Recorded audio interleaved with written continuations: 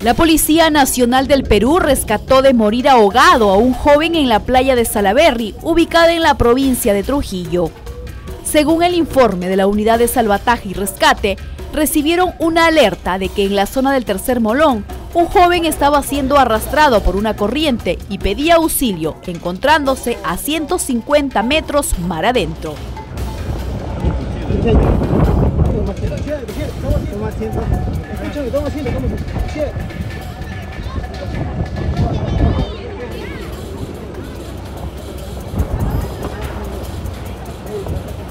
Más atrás, por favor, ya, más atrás, más atrás.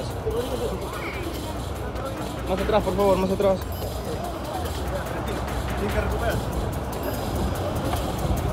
Los valientes rescatistas lograron llevar al hombre identificado con las iniciales de ACR de 23 años de edad a la orilla y le proporcionaron los primeros auxilios. A pesar de ello, fue necesario trasladarlo a un centro de salud para estabilizarlo.